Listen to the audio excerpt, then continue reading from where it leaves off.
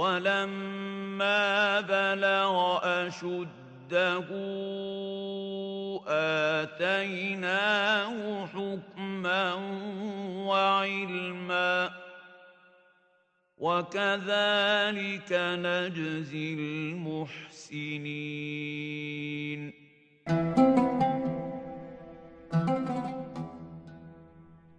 Prophet Yusuf not only grew up to be a handsome young man, but also he was blessed with exceptional knowledge and wisdom by Allah. Right after Prophet Yusuf was taken to the house of Al Aziz, or the chief officer of the king, his honesty won the heart of Al Aziz, that he placed him in charge of his household. During this period, Prophet Yusuf was confronted with his second trial, when the wife of Al Aziz tried to allure him into committing a heinous sin. But he was resolute in his faith and sought refuge in Allah from this evil. However, after rejecting her advances, Prophet Yusuf was unjustly thrown into jail.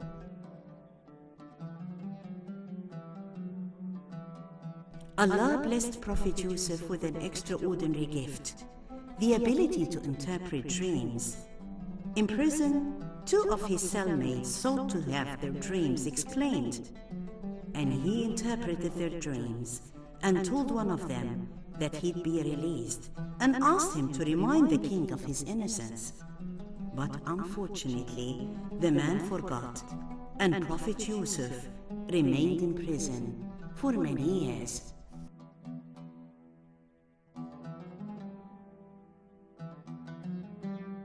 Years later, the king of Egypt had a dream.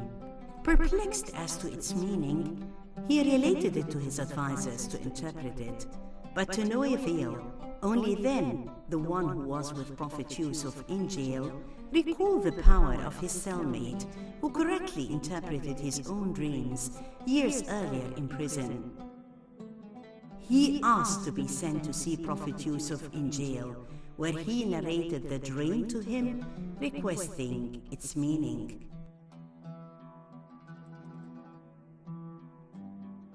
From the springs of wisdom and knowledge that Allah had granted him, Prophet Yusuf disclosed to his friend the interpretation of the king's vision.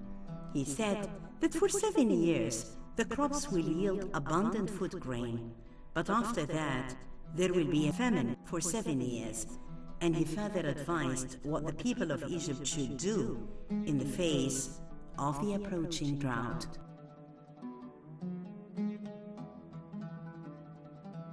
It was due to his skill, knowledge, and honest advice that Prophet Yusuf was released from prison with his dignity restored, and thus he was established the chief minister of Egypt, bearing the title of Al-Aziz, and he began his new duties, determined that when drought arrived, nobody should starve.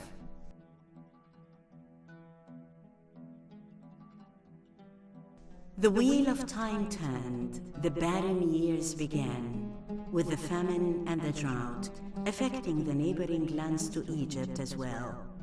When Prophet Yaqub heard that the chief minister of Egypt would sell grains to the needy nations, he dispatched his sons to buy wheat from Egypt, keeping home the youngest son.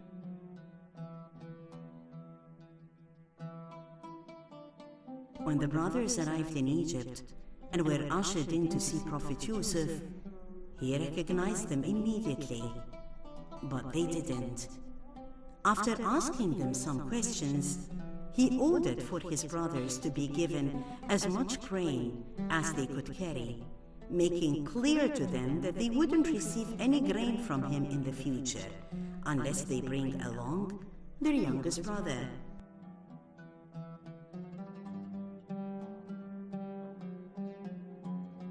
Soon, the brothers were out of grain. They were impatient to go back to Egypt to get more, and so they tried to convince their father to let their youngest brother accompany them. Prophet Yaqub refused, saying they would do the same thing with him as they did to Prophet Yusuf. After repeated promises, the brothers convinced him to let their brother accompany them to Egypt. When they reached Egypt with their youngest brother, Prophet Yusuf was happy to see his brother. After receiving their requirements, Yusuf put his action a plan to detain his young brother. So before their departure, Prophet Yusuf ordered his men to put a gold cup in his young brother's bag. The brothers hadn't gone very far when they were stopped and accused of stealing. They denied it, but by searching them, the cup was found in the young brother's bag, and so he was detained. They begged Prophet Yusuf to release him and take one of them instead.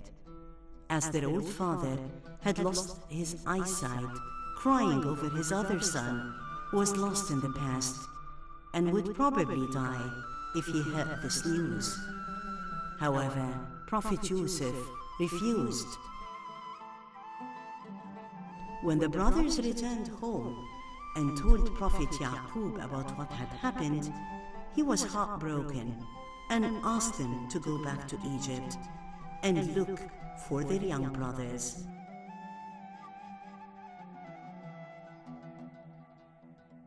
When they returned, Prophet Yusuf reminded them of how badly they had treated their brother Yusuf. It didn't take long for them to realize this was indeed their long lost brother, and they began to tremble in fear and shame. But Prophet Yusuf had no desire to take revenge on them. He asked them to take his shirt and cover his father's face with it, so he would regain his lost eyesight and then to return back to Egypt with all their family. The brothers cast Prophet Yusuf's shirt over their father's face, and Allah miraculously restored his eyesight.